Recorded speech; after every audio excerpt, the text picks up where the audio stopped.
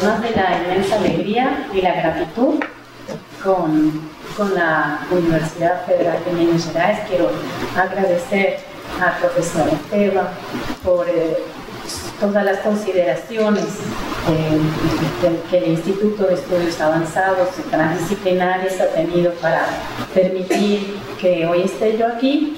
Y eh, también quiero agradecer muchísimo a la profesora Ana Uch, que es una muy buena parcera.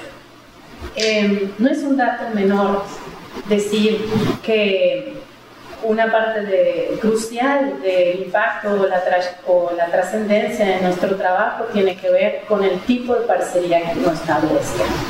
Eh, vivimos en un mundo, eh, al menos esta es mi opinión, eh, cada vez más complicado, cada vez más egoísta, cada vez más individualista y justamente hacer proyectos eh, de intercambio y particularmente en el formato de red es una cosa que necesitamos hacer más.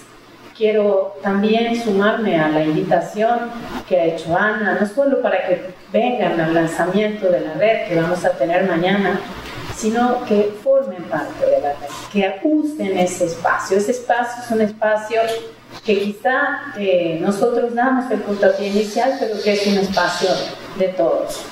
Em, en esa medida también quiero, eh, antes de iniciar con la lectura del texto, brevemente explicar cómo es que yo llego a este tema. En la medida que las, las biografías personales o las, las búsquedas, a veces de manera circunstancial o accidental, es lo que nos pone en el camino de un tipo de indagación particular y que nos, nos determina en mucha, en mucha manera quiénes somos hoy. Eh, ayer expliqué brevemente en el mini curso que mi formación inicial es como diseñadora gráfica. Yo me formé para hacer libros, fundamentalmente diseñadora editorial. No hice identidad corporativa, no hice prácticamente cartel, yo siempre trabajé en la industria editorial. Eh, durante 12 años ejercí de manera eh, freelance el diseño para editoriales como Fondo de Cultura Económica, Siglo XXI Editores, Planeta, Océano y muchas editoriales universitarias. Fue a partir de la solicitud de una editora universitaria de hacer una adaptación tipográfica para una fuente digital para la edición de lenguas indígenas, que yo viré el tema de investigación de mi maestría, que era en diseño industrial, a la pesquisa de cómo se produjeron los libros en lenguas indígenas, concretamente en una lengua mexicana. Hay muchas eh, familias eh, de lenguas, de troncos diversos, con complejidades diferentes que vamos a ver que desde el momento en que se empezaron a transliterar en el alfabeto latino, tuvieron permanentes pugnas, peleándose, no peleándose con la imprenta tipográfica para poder ser lenguas, además de habladas, escritas. Esa fue un tránsito de algo muy pragmático, que es mi ejercicio de diseño, a una pregunta de investigación histórica. En esa medida, eh, a veces los tránsitos se dan de manera más suave, a veces no tan suave, a veces tienen resultados más afortunados.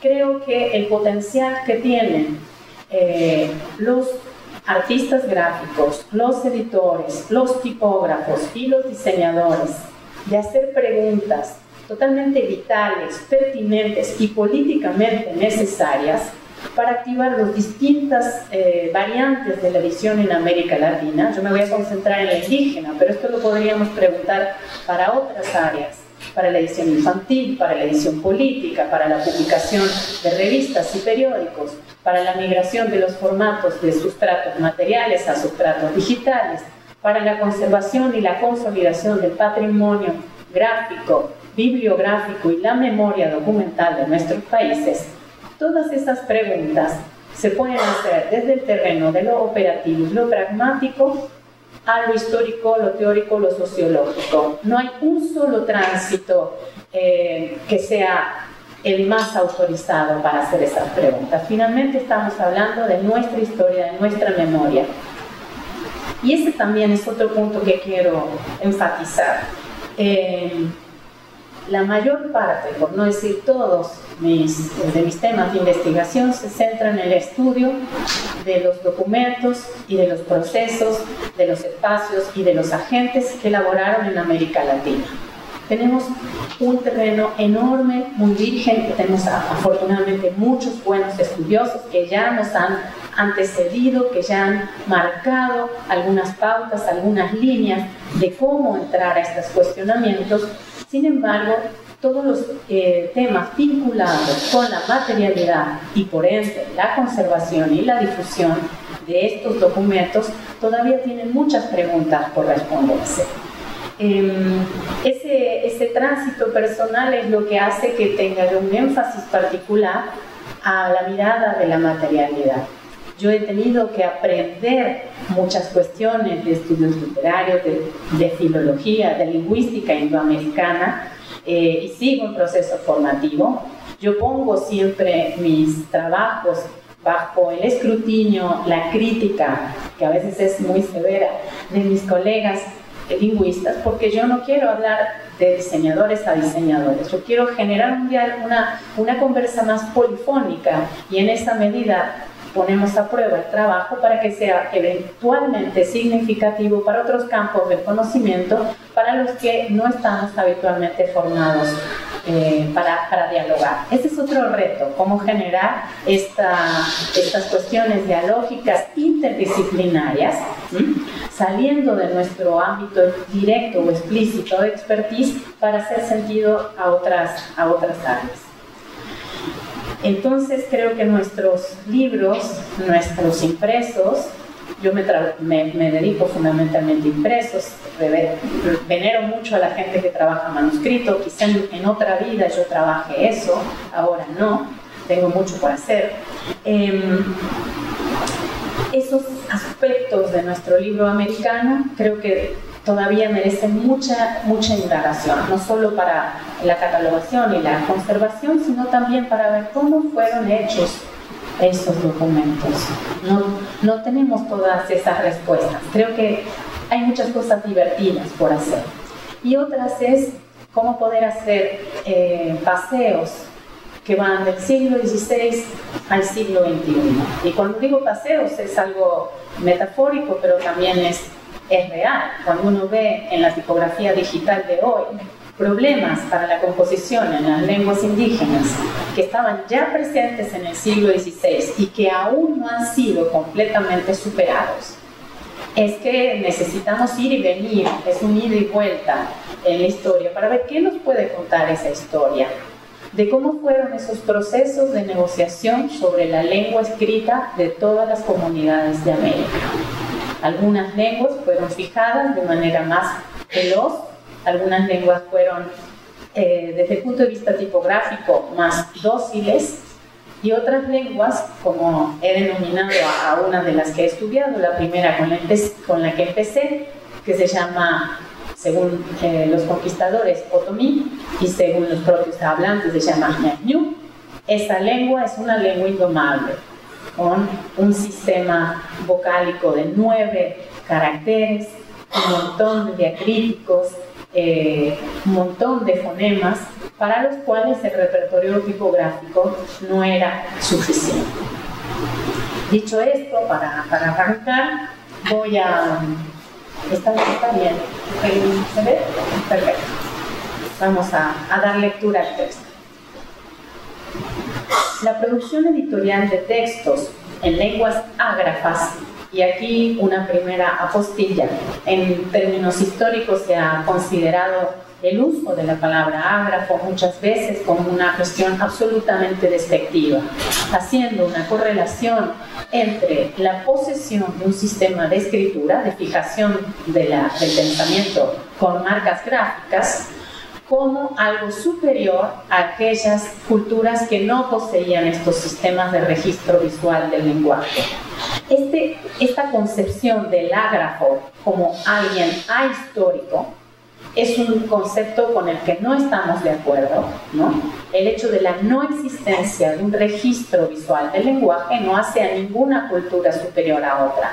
Es un hecho de condición histórica, pero no hay una consideración, al menos en mi postura, de valor de que aquellas comunidades que poseen esos sistemas de registros, sea de base alfabética o de cualquier otro sistema de marca, de marca visual, son superiores. Pero sí en la bibliografía nos vamos a encontrar esta correlación de ágrafos igual a históricos. Eso no es cierto. Lo cierto es que usamos de manera eh, formal el término ágrafo para decir aquellos pueblos que no tienen sistema de escritura con marcas visuales. La producción de textos para lenguas ágrafas implicó diversos grados de dificultad técnica, en especial por lo que se refiere a las adaptaciones de los tipos móviles con letras del alfabeto latino, los diacríticos y otros signos de escritura para la representación de los sistemas fonológicos que eran desconocidos para los conquistadores especialmente desde, el arribo y la difusión de la imprenta en el Nuevo Mundo y también, en algunos casos, de impresos en talleres europeos, pero en lenguas americanas.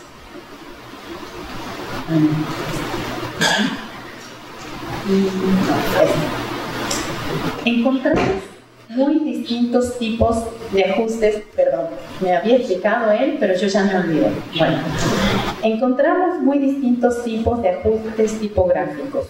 Por ejemplo, el que figura en la gramática de la lengua general del Nuevo Reino llamada Mosca de Fray Bernardo de Lugo, que es la que estamos viendo. Aquí estamos viendo la, la capa de rostro y unas páginas interiores, que estuvo impresa en Madrid por Bernardino de Guzmán en 1619. En esta obra, en lengua chicha, que se llamaba el idioma que se hablaba en el virreinato de la Nueva Granada, que equivale a lo que es hoy Colombia en mayor medida y un poco de Venezuela, era la región, es posible reconocer que además de las letras del alfabeto latino, se emplea una letra gamma mayúscula y minúscula, una H herida, que son letras que en las barras verticales tienen una, un travesaño, y un 3 para representar algunos de los sonidos del idioma. El mayor volumen de adaptaciones para la edición en lenguas indígenas se relaciona con el sistema de los diacríticos. En este sentido, es posible apreciar la fundición de letras ex profeso para varias ediciones en lengua guaraní, que frecuentemente recurrieron al repertorio del sistema de acentos del griego. Esto se ve con claridad en el...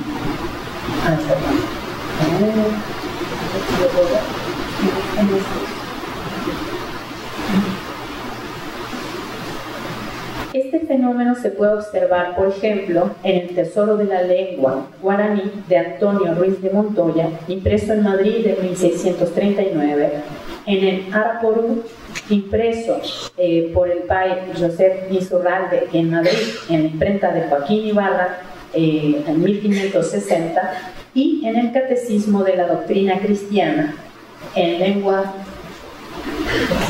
este que estamos viendo, en lengua guaraní y castellano, que es un impreso temprano de la imprenta de los niños expósitos en Buenos Aires, publicado en 1800. En todos los casos, a pesar de que son impresos o madrileños o en este caso porteño, se sigue recurriendo al uso del sistema de acentos griego para la representación de fonemas del guaraní. Estos casos y otros más que veremos adelante nos permiten entender que las dificultades materiales fueron un escollo constante en la edición en lenguas indígenas y es por eso que en esta presentación abordaré algunos problemas de representación tipográfica, producción impresa y edición para las lenguas americanas, haciendo especial mención a las lenguas de México que son las que más he podido estudiar. En esta presentación me propongo abordar cuatro grandes temas. Primero, los elementos involucrados en el modelado visual de la lengua, eh, es decir, los factores que intervienen en la composición tipográfica de los textos en lenguas nativas, el problema, en segundo lugar, del cuidado de las ediciones, haciendo énfasis en la corrección de los textos y las erratas que estos tenían. En tercer lugar, factores no lingüísticos que intervienen y participan en la edición de este tipo de obras. Y en cuarto lugar, las adaptaciones materiales microtipográficas para la escritura de estas lenguas. Los ejemplos y los comentarios que voy a ofrecer se refieren a un gran número de lenguas indígenas e inclusive a idiomas de varios virreinatos, lo que permite demostrar la amplitud geográfica y temporal de los fenómenos editoriales que se van a analizar. El diseño de textos y la disposición y puesta en página modelan algunos de los componentes de la lengua. De esta manera, ciertos aspectos de la oralidad se van delegando paulatinamente a la composición tipográfica y al diseño editorial. Un ejemplo concreto de lo que estamos indicando es la evolución de la puntuación. En las gramáticas de los siglos XV y XVI, el espacio concedido a la puntuación era un auxiliar elocutorio, es decir, que el texto escrito, en el texto escrito la puntuación daba pistas del modo en que éste debía oralizarse. La puntuación funcionaba así, como una especie de partitura para la reconstrucción de los efectos performáticos del texto e indicaba la duración de las frases, el momento de la respiración y también la entonación. A partir del siglo, de los siglos XVII y XVIII, se comenzaron a caracterizar los aspectos sintácticos de la puntuación para marcar transiciones en las oraciones que se convirtieron en reglas más firmes a finales del XIX se van estabilizando las distintas eh, ortografías.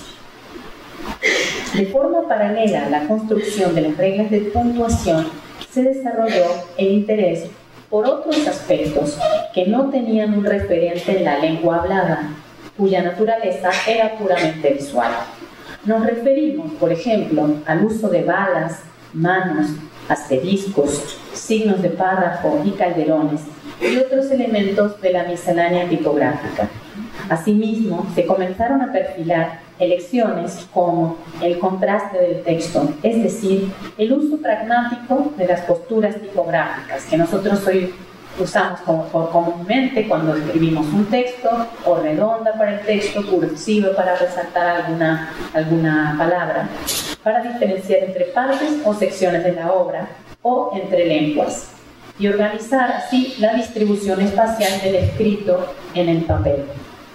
Todos esos recursos visuales comenzaron a incluirse en las puestas en página de las obras, dando lugar a una sintaxis tipográfica de los textos.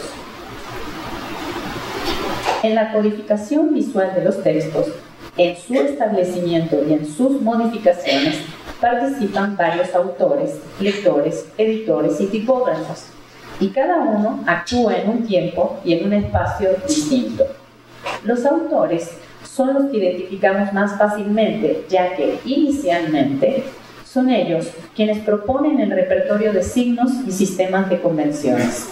Los autores tienen que trabajar con una serie de asunciones de lo que el lector puede comprender del texto y así anticiparse a la respuesta. Es decir, se da una especie de feedback entre yo que pongo esto y tú lo entiendes. Y en esa medida se va reforzando con el hábito lector. Por eso son ellos, los autores, quienes usualmente marcan párrafos, deciden el orden de la exposición y emplean la primera pauta gráfica de puntuación. Por su parte, los lectores mismos contribuyen a la codificación de la pauta gráfica, aprendiéndola o rechazándola a medida que las conocen y las usan. Por ello, por ejemplo, para entender los sentidos de los textos, lectores jóvenes recurren en menor medida a la puntuación, mientras que esta es imprescindible para la construcción de significado en lectores más avanzados. Los editores y los tipógrafos también participan de, las configuraciones textuales en la medida en que son quienes construyen el puente material que un escrito debe recorrer para llegar a ser un libro impreso. Además, son ellos los que usualmente manipulan el original para convertirlo en un texto en caracteres móviles. Por lo tanto, el sistema de reglas gráficas que veremos en los libros impresos deriva de los aspectos pragmáticos de la escritura, pero también de las labores de edición, en las que interviene de manera directa el tipógrafo. Las estrategias de representación de los signos de escritura que hemos presentado en algunos otros trabajos estuvieron complementadas con otros criterios que se manifestaron en la puesta en página. Por ejemplo, la asignación de posturas tipográficas que acabo de mencionar, redondas y cursivas, a cada una, para cada una de las lenguas.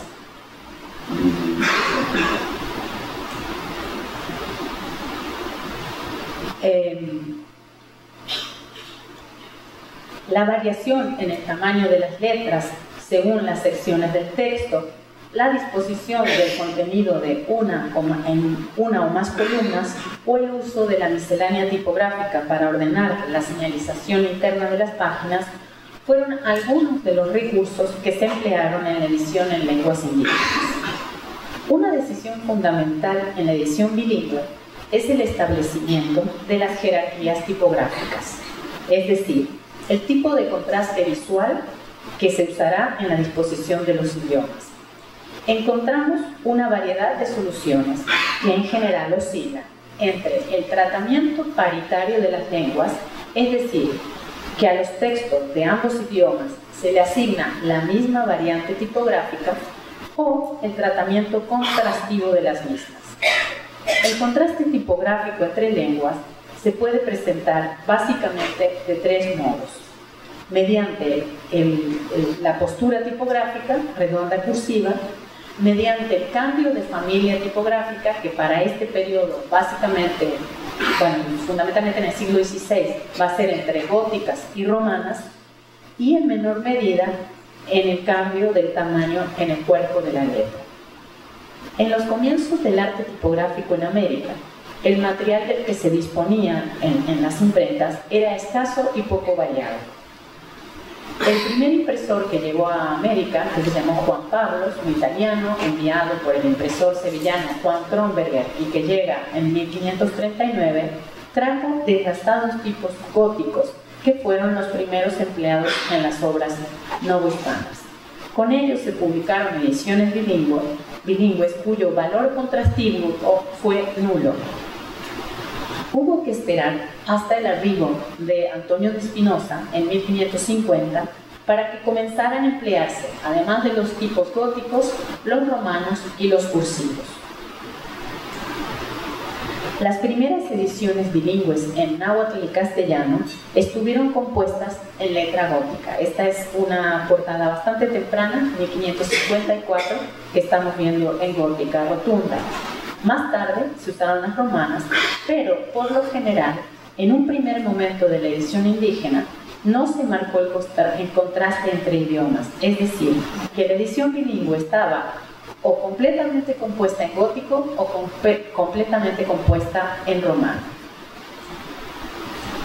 Después de la segunda mitad del 16 es cuando surgen las ediciones en las que se marca un contraste lingüístico mediante postura y familia. El castellano se distingue del náhuatl, por ejemplo, mediante el uso de cursivas. También en este segundo momento editorial encontramos diferencia entre dos idiomas mediante el cambio de letra, en el tamaño de la letra. Así, por ejemplo, en esta hoja, en esta doble página, que es eh, las páginas finales de un sermonario de Fray Juan de la Anunciación, impreso en México por Antonio Ricardo en 1577, vemos que en las páginas del castellano está en un puntaje mayor y en una columna más ancha que el náhuatl, y en la otra a la inversa. Aunque ambos idiomas están compuestos en redondas o romanas, estrategia útil y necesaria para balancear las columnas de idiomas cuya longitud relativa de palabra es distinta. El náhuatl es una lengua eh, aglutinante y por tanto las palabras tienden a ser más largas que las del castellano. En el siglo XVII encontramos los primeros casos de contraste por postura, es decir, que se marca la diferencia entre idiomas usando redondas y cursivas respectivamente.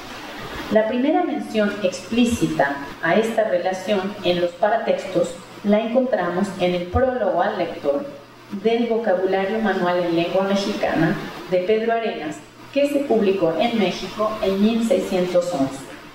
En esa obra el autor expresa, hace puesto el romance castellano de letra bastardilla y la declaración del mexicano en redondilla para mayor distinción que por estar todo muy claro, me pareció necesario especificarlo. O sea, hay una explicación de la asignación tipográfica para esta obra.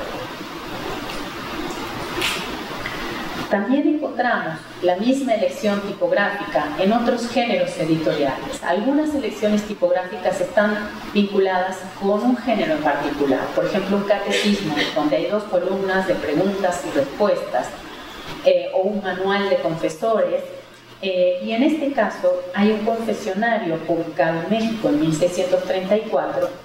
Esta decisión también la vemos en una doctrina Mazahua, que es otra, otra lengua, también publicada en el siglo XVII, o en un manual de sacramentos en lengua de Michoacán. Esta, quiere decir con esto que en tres idiomas diferentes vemos el uso de esta distinción por postura. Esto empezó a suceder en el siglo XVII, cuando había una mayor amplitud, un mayor repertorio de material tipográfico en las imprentas.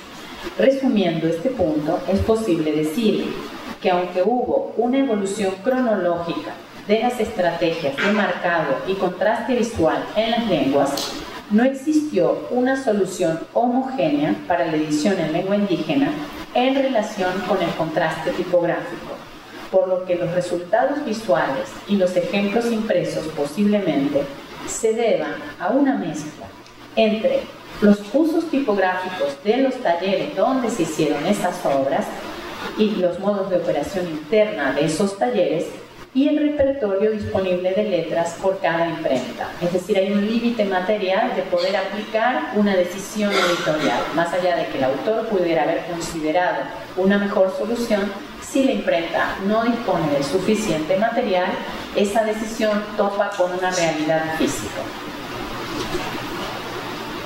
Además de la clase y el estilo de las tipografías, otro elemento que se decide en la edición indígena es la disposición del texto, el cual, según las secciones del libro y género de la obra, puede ser a línea tirada o a dos columnas.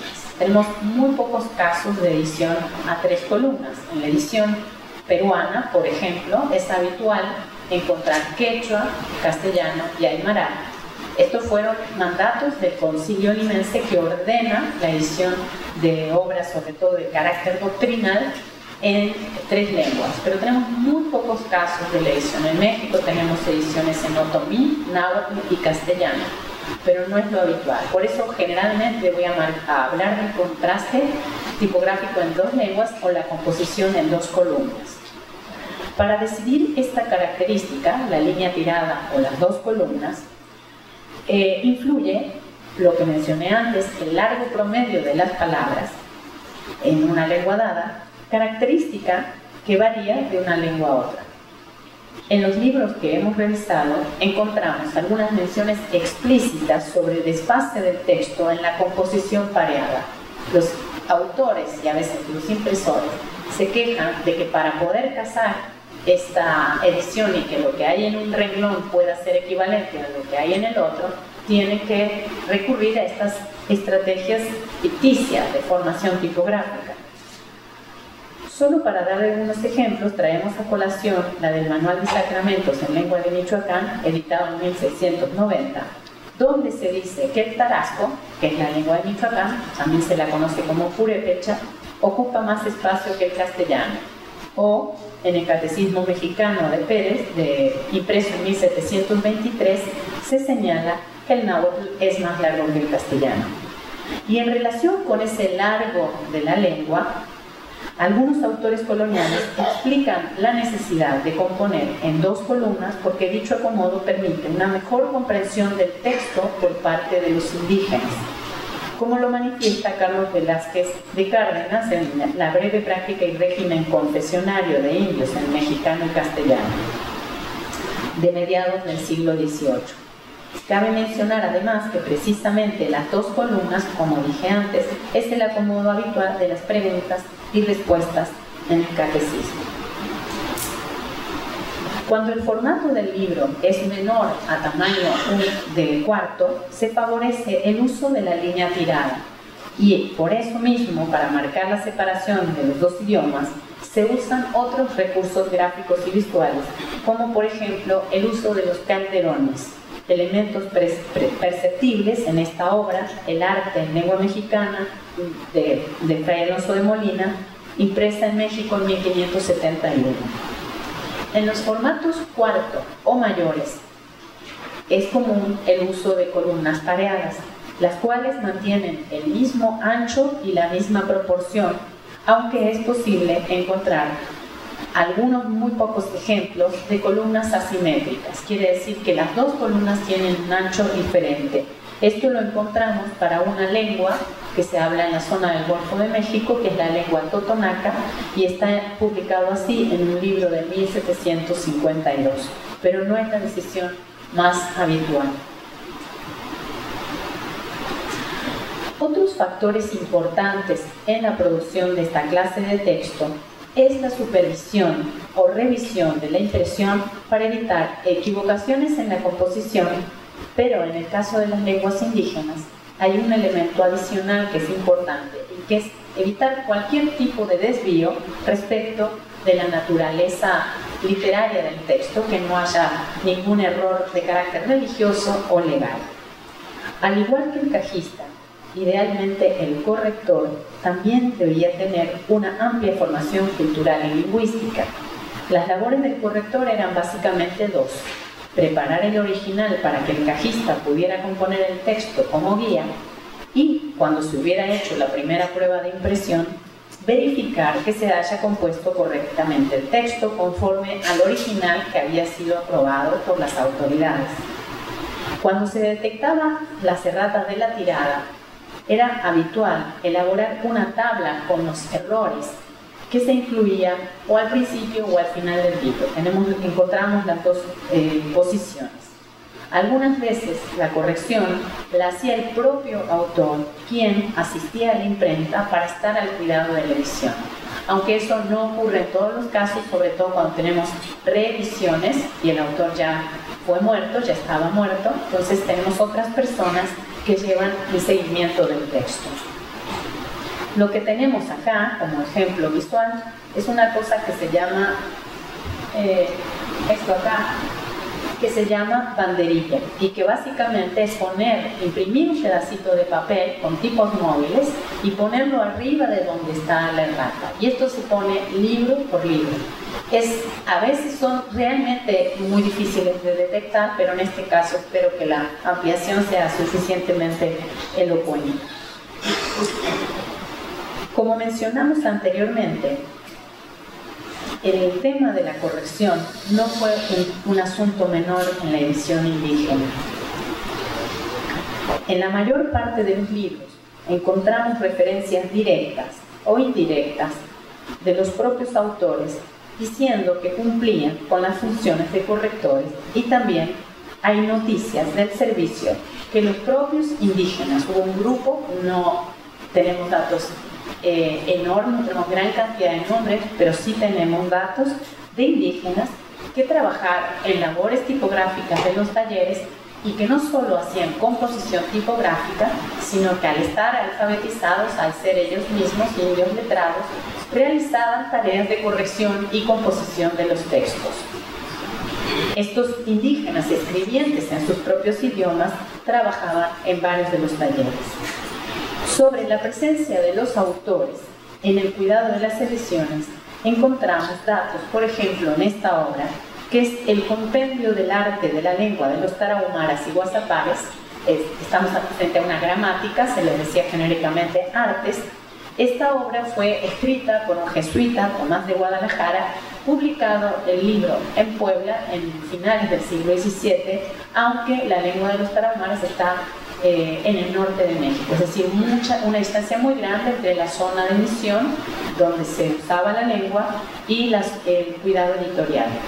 Al respecto de esta obra, el visitador de los jesuitas, un señor que se llamaba Tardá, le escribió al padre provincial en, en, esas fechas, finales del 17, indicando, el padre Guadalajara necesita de pasar a México y curarse muy despacio, y el no remitirle pronto es que no ha, por no haber sujeto que entre en su lugar, donde hay tanto por hacer. Es decir, había pocos misioneros en el conocimiento de esa lengua. Y quizá, decía el padre, de esta manera volverá en sí, es decir, se curará, porque aquí está en mucho riesgo. Y de paso, yendo a México, le haría gran servicio a Dios imprimiendo el arte de la lengua tarahumara. Es decir, acá tenemos una documentación epistolar que nos permite saber que el eh, autor de la obra participó en el cuidado de la edición. Ahora bien, cuando las erratas se manifestaban en los libros, encontramos algunas explicaciones, así como promesas de enmiendas futuras, de que se van a corregir. En la advertencia de esta obra, que es la primera parte del sermonario dominical en lengua mexicana, compuesta por Juan de Mijangos, impresa en México en 1624, se puede leer. Eh, se puede leer. Los estudiosos. a ver, me pasa. Los estudiosos que manosean los libros habrán echado de ver que no hay ninguno que no tenga erratas. Y quien supiera el trabajo que cuesta una impresión, y que después de bien mirado el pliego y tirado ya, se haya una o dos erratas, no culpará a los autores de los libros. Gran parte de este, de este libro compuso un oficial que no sabía la lengua, por muerte del que lo comenzó a componer, y esta fue la ocasión de haber erratas una excusa bastante elaborada, pero que nos permite saber que, los, que había eh, hablantes que estaban haciendo el, tiraje. Otros avisos eh, sobre, lo, sobre esto, este asunto, este problema de las erratas, lo encontramos en la advertencia para los confesores, compuesta en náhuatl, impresa en el Colegio de Santiago de Tlatelolco, un colegio franciscano, en el año 1600. Y ahí en la declaración se lee, quien supiere, cristiano lector, lo que se pasa en corregir, no se maravillará de ver erratas, especialmente cuando el corrector es nuevo. Acá también nos da otra data indirecta de que hay un proceso de aprendizaje de las labores del taller. Cuanti más que muchas veces vienen las erratas en los breviarios iniciales. Y así tuve por menor inconveniente ponerlas aquí que dejarlas, por la fidelidad que se debe al original. Y prometo mejor corrección en la segunda impresión. Entonces acá vemos algunos paradigmas eh, de lo que entendía el corrector de estilo, que si la rata venía en el original la tenía que dejar. Era mejor ser fiel al original que hacer hipercorrección. Y aspira a una segunda edición. Los errores comunes en la composición manual de textos han sido tipificados por los estudiosos de la bibliografía material. De esta manera, McEnroe hablaba de cuatro grandes géneros de errores que se podían cometer en la imprenta, que podía realizar el cajista, que están enlistados acá. Errores por mala lectura del original, errores por fallo de memoria, errores musculares, errores producidos por una caja sucia, es decir, cuando las cajas eh, contienen algún elemento exógeno.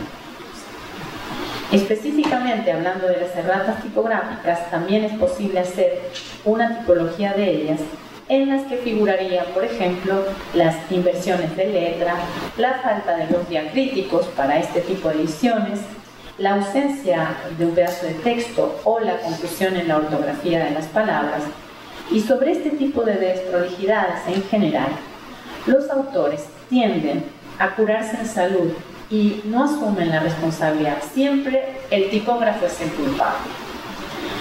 Pero en ningún caso asumen esta responsabilidad porque puede incluir una sanción administrativa. En el discurso al lector curioso, por saber faltas ajenas, de la crónica apostólica de los colegios de propaganda fide impresa en México por la viuda de Ogal, por, perdón, por José Bernardo Ogal en 1746, leemos.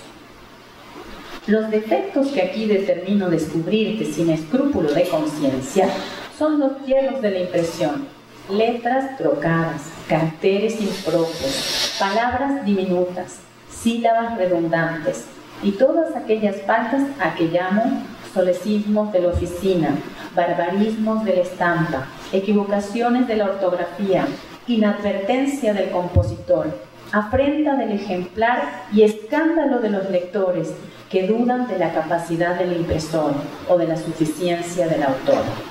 Juzgo empero estos hierros dignos de perdón, pues todos van íntegramente confesados en las líneas siguientes y vulgarmente se dice, pecado confesado ya es medio perdonado. Este libro estaba lleno de errores. Un problema asociado al cuidado de los textos en lenguas indígenas es la pericia necesaria del corrector y del tipógrafo y por eso traemos a colación el, dato peruano que aparece en las ediciones de 1586 y 1604 del vocabulario de praxis de la lengua general de los reinos del Perú, llamada quechua, y en la española, donde se transcribe la provisión real de 1584 que sale de los concilios limenses. En estos concilios se había ordenado la producción de cartillas, catecismos y confesionarios, así como manual de sacramento en las lenguas generales del Perú, que eran la quechua y la aymara. Y ahí se argumentaba muchos daños, inconvenientes, gastos y costas que se recrecerían no se imprimiendo dicho catecismo y cartilla y confesionario en los dichos reinos del Perú, así por no se poder llevar para lo imprimir a los nuestros de Castilla, como por el irreparable y grave daño que se seguiría de venir viciosa dicha impresión y los hierros que se podrían mostrar a los dichos naturales, andando escritos de mano, de que tantos inconvenientes se podría seguir que en gente tan nueva sería irreparable. Está hablando no solo de que no se podía imprimir en la península por, por los gastos, sino que está hablando de las capacidades lectoras de gente recientemente evangelizada y que ante la presencia de una errata eso podría provocar problemas de administración. Estos datos que estoy leyendo, eh, hay una información riquísima en los paratextos que nos hablan de los procesos editoriales, de los problemas políticos de la edición en América y eh, dan cuenta de las dinámicas de los talleres tipográficos que de otra manera no podríamos enterarnos cómo se, cómo se llevaron a cabo. Además de las menciones anteriores, otros argumentos que se daban para ensalzar los cuidados dedicados al texto y a la defensa de los impresores los encontramos, por ejemplo, en, en Catecismos en Náhuatl, donde eh, el autor dice, y con ser la traducción en lengua extraña y no entenderla los impresores, acá, ojo, esto ya es siglo XVIII y nos está diciendo con esta cita que no es tan habitual que hubiera tipógrafos hablantes en lenguas nativas en las imprentas, ¿no? Y no entendida de los impresores y consta esta de dilatadas voces y sílabas repetidas, así describe a náhuatl, con todo, por la misericordia del Señor, el cuidador de la edición mayor, según él, no se hallará en todo lo escrito errata alguna de consideración. Este tipo de comentarios lo van, a repetir varios autores permanentemente, sobre todo los que más publican. Dice, el mismo autor que publica dos obras prácticamente en el mismo año dice, no es poco común eh, cuando se imprime una lengua tan variable de voces largas, muchas partículas que no entienden los impresores hallar erradas. Pero no todas las estrategias de edición de los textos indígenas son tan evidentes. Sobre el cuidado de los textos, las limitaciones materiales o las ideas que sustentan la toma de decisiones de diseño, también encontramos menciones en los libros que se deben tomar en cuenta a la hora de valorar la forma impresa del texto indígena, ya que estas menciones son reflejo del tipo de trabajo editorial que implicó esta, estas ediciones. En los dos niveles del texto, el, el microtipográfico, el nivel de los caracteres aislados, y el del diseño de la página, el macrotipográfico, se puede identificar algo más que las preocupaciones lingüísticas y la precisión ortográfica de los autores. En la edición tipográfica entran en juego aspectos que trascienden exclusivamente lo fonológico, lo ortográfico, para incluir una serie de valoraciones de naturaleza moral respecto a las lenguas que se están editando y a la cultura de los indígenas. Sin duda, uno de los elementos culturales más influyentes en el diseño de estos textos fue el concepto que el autor tenía de las capacidades interpretativas de los indios, es decir, de sus habilidades como lectores. Aunque no todas las obras lo manifiestan de forma explícita que el libro esté dirigido a lectores, nosotros tenemos la tendencia general a pensar que estas obras son usadas exclusivamente por frailes o por religiosos, tenemos algunas menciones que hacen referencia a estos lectores indígenas. En los dos confesionarios de Fray Alonso de Molina, dirigiéndose al lector indígena, el confesionario mayor y menor, el autor dice, el primero, el mayor, algo dilatado para ti, con el cual yo te favorezca algún tanto y ayude a salvar a ti, que eres cristiano y te has dedicado y ofrecido a nuestro Señor Jesucristo, cuyo fiel y creyente eres tú, que tienes la santa fe católica. Le habla de, manera directa al lector.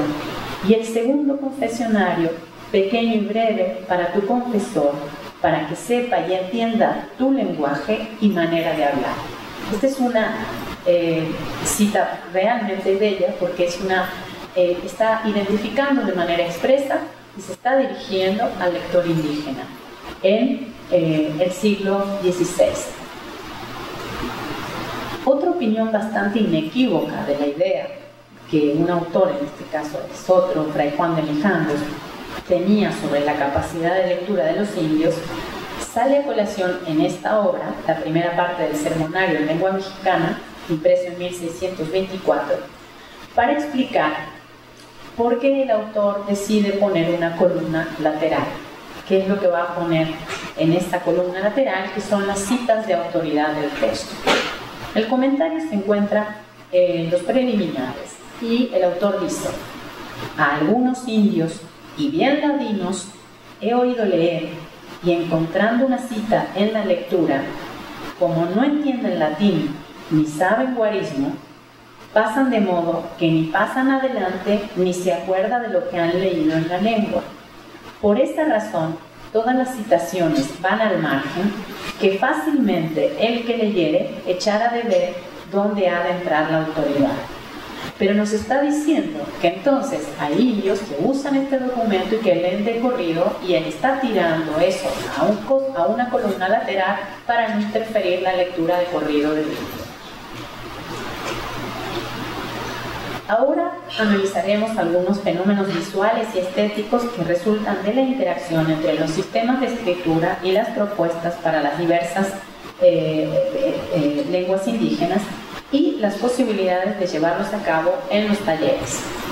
Para esta razón, a partir del análisis de la tipografía y el diseño de los libros con los que he trabajado en un grupo de más de 115 libros que van desde el siglo XVI hasta 1821, de distintos géneros editoriales, tanto eh, lingüísticos, que son gramáticas y diccionarios, como eh, libros religiosos, eh, confesionarios, manuales de sacramento, catecismas, catecismos, pudimos identificar eh, unas estrategias visuales que eh, propuse hacer una categorización como la que estoy presentando de estos fenómenos microtipográficos. El primer ejemplo que nosotros podemos encontrar es el de creación de un sistema de escritura desde cero, digamos, la invención de signos. Esto lo encontramos para la lengua otomí y se puso en práctica para un eh, breve compendio, para una especie de catecismo impreso en México en 1785. Esta obra fue encargada por el Cuarto Concilio eh, Religioso Mexicano, hubo tres en el siglo XVI y uno en 1770. Pero la obra no fue publicada hasta después de 14 años porque, como explica el autor, no había en la Nueva España los moldes correspondientes. Aunque los nuevos signos conservan algunas proporciones y grosores similares a otras letras del alfabeto latino, a primera vista el trazo de algunas de ellas son completamente nuevas y parecen derivar de las estructuras y formas tradicionales del alfabeto.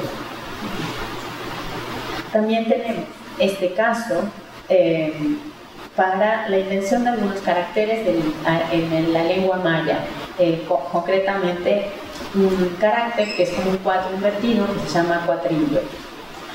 La segunda estrategia que vamos a encontrar es la reutilización de signos, que esto sirve para ampliar el repertorio que eh, implica la reutilización de una parte del sistema alfabético pero asignándole otros valores. Esta reutilización se da en relación con lo que cada autor considera que, el idioma necesita y por lo tanto qué letras del alfabeto son susceptibles de ser refuncionalizadas. No se pierde de vista, en este caso, el principio de contraste de la letra respecto del sistema o conjunto del sistema, o sea, de la unidad respecto de la totalidad. De esta manera se procura que el signo siga perteneciendo al sistema, pero al mismo tiempo sea reconocido como algo diferente y particularizado para cumplir una nueva función fonológica. Dentro de la reutilización de signos hay algunas eh, subcategorías como reutilización por rotación, por semejanza estructural, por ambigüedad y por sustitución gráfica. En la subcategoría de rotación podemos encontrar unos casos tempranos en el náhuatl, el primer ejemplo se encuentra en el vocabulario en lengua mexicana de 1555, donde vemos el uso, de hecho es en el, anterior, es en el, inferior, donde vemos el uso de una M, o sea, se, usa una M por una W. Es decir, que hay una rotación de este, de este signo de 180 grados. El segundo ejemplo lo encontramos también en el siglo XVI, donde se recurre, se sustituye una Z por una N, es decir, una rotación de 90 grados. Para el caso del maya encontramos este tipo de reutilización correspondiente a la letra C, que es un sonido particular para en una doctrina maya en el siglo XVII y también en una gramática maya en el siglo XVIII. La reutilización por semejanza estructural la encontramos en un caso curioso, es el uso de la misma letra sigma, que presenté acá, es la, inferior derecha de ustedes. Eh, nosotros no, no hubo prácticamente composición en griego, entonces acá vemos que el tipógrafo tiene estos materiales y decide utilizarlo eh, para simular una Z. A él le parece que es suficientemente próximo el, carácter que puede dar la idea de una Z. Otro fenómeno que encontramos es el de la eh, sustitución por ambigüedad. Es una eh, reutilización que vamos a encontrar particularmente en el siglo XVI y XVII, cuando se usa eh, indistintamente la I latina con, eh, por la L o la V por la U. Este fenómeno no es exclusivo de las lenguas indígenas, pero la encontramos de manera bastante presente en composiciones para el Mazagua o para la lengua ópata. Dirán, estas ediciones son tanto del siglo XVII como del siglo XVIII. También encontramos sustitución gráfica de una grafía eh, por varias razones. Sin embargo, un argumento singular es el que propone un, eh, fraile que trabaja en maya y él dice, se desecha el uso de la C y se la sustituye por la Z por si a alguien se le olvida ponerle el rabo de la C. En algunas de estas eh, descripciones, de manera indirecta, nosotros podemos entender que cuando eh, a ningún tipógrafo se le ocurriría que la C cedilla va rabo, pero si se hace una mención así, es porque esto también sirve como norma de escritura manual. Es, muchas veces estos documentos sirvieron también para el entrenamiento de escritura manual de algunos de los usuarios. Eh, otro de los fenómenos, el tercer fenómeno que encontramos es el de la combinación de signos. Eh, por ejemplo, de sumatoria de signos podemos identificar una amplia gama de dígrafos y trígrafos, cuando los caracteres van de a 2 o de a 3, polígrafos o archigrafemas. Esto es bastante eh, común en varias eh, de las lenguas indígenas. Esta combinación de caracteres podría ser de una misma letra o de letras distintas. En la mayoría de los casos, los autores que las emplean aclaran eh, que aunque la nueva letra esté formada por dos o más caracteres, debe leerse como una sola letra, es decir, como un solo signo. También hay combinación de letras para con una leve alteración en el dibujo de ellas. Los frailes pudieron identificar consonantes glotalizadas, que es un tipo eh, de sonido particular de varias de las lenguas tanto mayenses como de la familia otomangue, y en algunos grupos se emplearon las estrategias de duplicar letras. Por ejemplo, en el otomí encontramos dos P's, dos T's, dos eh, T's con una Z, en el maya encontramos dos P's, es, común encontrar estas, estos eh, archigrafemas o polígrafos. La producción es profeso de letras dobles o triples, las encontramos en, tanto en la lengua maya, en la lengua náhuatl, en lenguas del norte de México que fueron eh, gramatizadas de manera bastante tardía en el siglo XVIII y también para el otomí. acá tenemos un ejemplo concretamente de la lengua mame. La combinación de dígrafos que acabamos de presentar se realizaron en cuatro direcciones. En el sentido de la escritura, de, derecha de izquierda a derecha, en, sentido horizontal, en sentido vertical o combinación eh, de orientaciones. La más común de las direcciones que encontramos es la duplicación en el sentido de la lectura, de izquierda a derecha. La combinación vertical es menos habitual, la podemos encontrar justamente en esta obra, donde la letra que estoy mostrando en un círculo es descrita como eh, esta lengua usa mucho de un carácter que son dos Cs pegadas, que es lo mismo que se escribiera la letra K. Él usa este carácter que parece más bien un 3 sino una K porque la fuente tipográfica no dispone de la K. Respecto de la combinación en el sentido horizontal y vertical, podemos citar algunas de las grafías inventadas de Otomí, que son la MB, parecido en algunos, de algunos sonidos a, caracteres que hay en el, idioma guaraní. Finalmente, la forma de combinación detectada en el, en el, espacio mismo de la letra es este, esta capitular que fue eh, elaborada en la Nueva España, aunque tiene una apariencia totalmente europea, y lo podemos eh, corroborar que esto es una, letra hecha ahí, no, de hecho no lo decimos nosotros, lo, lo determinó un estudioso de la imprenta que se llama Juan Pascoe, él considera que es una letra elaborada porque eh, el no eh, que, representa este, esta capitular es un prefijo para iniciar eh, una parte de una oración, de un sermonario, que quiere eh, que la frase completa quiere decir queridos hijos míos. Entonces el sufijo está indicando a este conjunto al que se va dirigiendo de personas, ¿no? Los casos de añadidos a un signo, de añadidos a, la letra o a la estructura del mismo, es cuando en el dibujo de la letra que es reconocible se observa un anexo de un elemento, puede ser en el área circundante del signo como acento flotante o de manera contigua al signo, que sería el caso más concreto, el de la C Varias lenguas indígenas tienen un sistema vocálico más complejo que el que nosotros estamos habituados por ejemplo, en el soque hay una sexta vocal que es representada durante el periodo colonial como un dígrafo, es una AE o una E con cola, como si fuera una E con, con, una, con un rabo. El posible antecedente de estas formas se podrían rastrear en algunas grafías medievales con la E caudada que deriva en un dictongo AE.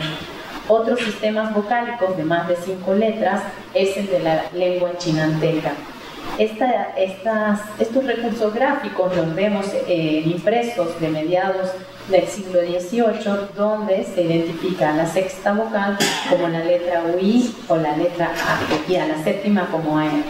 Posiblemente el hecho de usar indistintamente dos grafías para el mismo sonido se deba a la carencia de letras suficientes en la imprenta y no a que el autor considere que puede usar dos caracteres diferentes para un mismo sonido. Esto habla más de las dificultades de la imprenta y no de la conciencia del autor.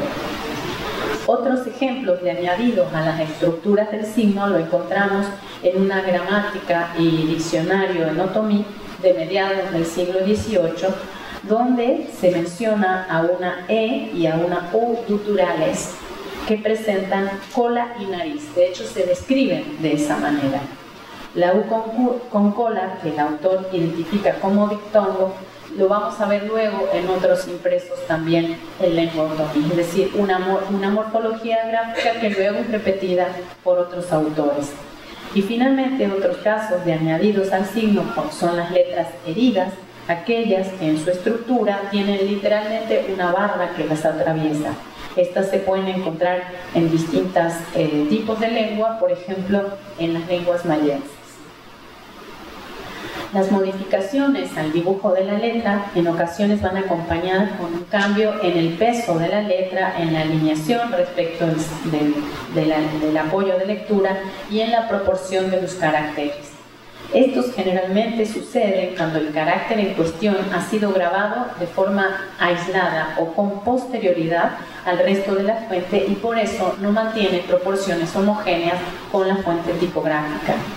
Otra explicación que puede darse a estas modificaciones eh, en el dibujo de los caracteres es que la imprenta necesita un surtido adicional de letras y por eso funde un nuevo conjunto de caracteres y esto implica que difícilmente va a tener el mismo nivel de horizontalidad respecto del resto del alfabeto.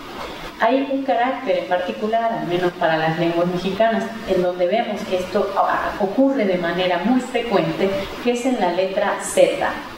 Y esto fundamentalmente se da porque para el náhuatl la Z tiene una muy alta presencia. Entonces es una letra que siempre va a estar desalineada del resto del, renglón. Esto, esto nos indica claramente de que hubo un fundido de caracteres adicionales. Y ahí, esto mismo para lenguas mayenses ocurre con la letra K, que no siempre había suficientes. Entonces, estos dos problemas de saltos en el renglón los, vemos eh, con bastante frecuencia en, estas, eh, en estos idiomas. Hay evidencias de que hay algunos autores que explotaron al máximo el surtido de caracteres disponibles en los talleres, empleando, por ejemplo, las dos variantes de, una, de un mismo carácter. Nosotros ahora no asignaríamos un sonido distinto a una Z en redonda y a una Z en cursiva. Sin embargo, si nosotros vemos en la edición colonial, tenemos ejemplos como el que estamos observando en Otomí, donde él usa una para un sonido y la cursiva para otro. Esto eh, lo vemos tanto en el, en el siglo XVI como en siglos anteriores. Ah, otra mm, variante eh, interesante es que al escoger y explicar las grafías, algunos autores pensaron simultáneamente, como mencioné antes, en la clave del impreso, pero también en la del manuscrito. Tenían conciencia del uso de variantes de minúsculas y mayúsculas, es decir, de la caja alta y la caja baja. Eh, concretamente tenemos unas citas para, para el otomí en donde el autor dice, si es manuscrito, se hará el dibujo de la letra sin variar la figura, pero abultado. Para el impreso no lo permiten los cuadros y tamaños de las letras. Por letra grande se entiende mayúscula. Este mismo tipo de énfasis lo vemos también para el náhuatl, para, con un autor del siglo XVIII que él muestra los caracteres y que dice, a esta C, y muestra la C mayúscula, llamo dura, y a la C cedilla llamo blanca. Ambas se pronuncian como en castellano. Siempre que estas dos letras vienen en vocal, se pronuncian como en las voces chato, chico, chorro. Finalmente, otro caso frecuente de añadidos a un signo son las letras heridas, aquellas, como mencioné, que en la estructura tienen una barra. Otro caso que nosotros podemos encontrar es el que vemos en la parte inferior, que es el cambio en el tamaño de la letra. El autor está queriendo mostrar ahí unos eh, diptongos, pero como no tiene el dibujo del diptongo, usa un cuerpo más chico de letra para que el lector entienda que la tiene que decodificar como un carácter asociado. Eh, esto, por ejemplo, se usa para una lengua del norte de México que se llama Cora. Finalmente, el último fenómeno tipográfico que identificamos eh, es la estrategia de reconstrucción de signos que se da fundamentalmente en dos en la letra ñ y en la letra C cedilla. El, el hecho de que las imprentas no dispusieron de letra ñ como un carácter solo grabado hasta el siglo XVIII hace que antes nosotros cuando necesitábamos la letra ñ eh, hacían una composición usando un paréntesis una I, una J acostada para eh, simular esa tilde de la N y lo mismo para componer las C cedillas se ponía una coma, por ejemplo, en la parte inferior, pero no lo tenemos como un carácter diseñado al menos para la caja alta. El recorrido que acabo de, presentar permite eh, observar de otros modos estos libros en lenguas indígenas ya que en, estos, en estas obras vemos abundantes señales y notas sobre los modos que las lenguas consolidaron sus formas escritas, sus reglas gramaticales y sus estructuras de sonido. Identificar y distinguir estas señales de los libros, y cuando hablo de señales me refiero a la parte de las, letras que acabamos de ver, ejemplos a nivel de microtexto, pero también los comentarios de los autores en los paratextos o las formas en que están dispuestas las páginas, es una tarea que se debe realizar de manera conjunta entre historiadores, lingüistas, estudiosos de la cultura visual y material de los libros y muchas otras disciplinas, también obviamente tipógrafos y profesionales de las artes gráficas, ya que solo mirados los libros desde distintas perspectivas metodológicas, será posible dilucidar el entramado de claves y estrategias que participaron en la edición de estas obras. Los ejemplos que he presentado nos permiten explicar algunos fenómenos lingüísticos e imaginar el impacto de la imprenta tipográfica en los sistemas de, las escrituras de las lenguas del Nuevo Mundo. La posibilidad que ofrece el estudio de las representaciones tipográficas y de la puesta en página en las ediciones en lenguas indígenas queda de manifiesto cuando leemos en los textos preliminares muchas de las decisiones que los propios autores nos están confesando. Es decir, no, no escribirían esas decisiones si fueran tan obvias para el lector. Hay toda una operación editorial atrás de esto, que no serían necesarias si el libro permaneciera exclusivamente de manera manuscrita. Y esto nos revela los procesos de revisión, edición, cuidado del texto. La agenda que se podría desprender de lo dicho en este, en este espacio con miras a realizar otros futuros trabajos, trabajos que no necesariamente haga yo, sino que se puedan hacer eh, por grupos de pesquisa o por otros académicos, es revisar las intersecciones disciplinarias que nos permiten localizar evidencias de la paulatina y progresiva estabilización de las escrituras en los documentos coloniales impresos. Continuar con esta identificación precisa de los recursos gráficos y las tácticas editoriales empleadas para comprender mejor el papel que jugaron en su conjunto los procedimientos tipográficos en el paso de los textos manuscritos a los textos impresos. Mirados como un sistema, los hechos que ocurren en el proceso de materialización tipográfica de los textos cobran una relevancia mayor y adquieren dimensión filológica con implicaciones que nos permiten hacer estudios también de naturaleza y de primer orden, toda vez que la inmensa mayoría de estas obras de las que estamos eh, hablando, las que presenté en este momento, de ellas no conservamos documentos manuscritos, solamente tenemos las evidencias impresas. Si queremos hacer indagaciones sobre cómo pudo haber sido ese original, primero esa primera propuesta gráfica, ortográfica, nosotros tenemos que entender cómo funcionó esa puesta en, eh, en página tipográfica para, en todo caso, llegar a esa idea del autor, ese estado original del texto manuscrito. Sin embargo, el punto aquí es entender estos libros o trabajar, porque al menos es la propuesta que, que quiero exponer, que se, debe, se deben abordar y estudiar de manera interdisciplinaria, no son campo exclusivo de una sola eh, área o materia, y de esta manera podríamos eh, llegar a un conocimiento un poco más profundo de una parte importante de nuestro patrimonio bibliográfico en lenguas indígenas. Muchas gracias.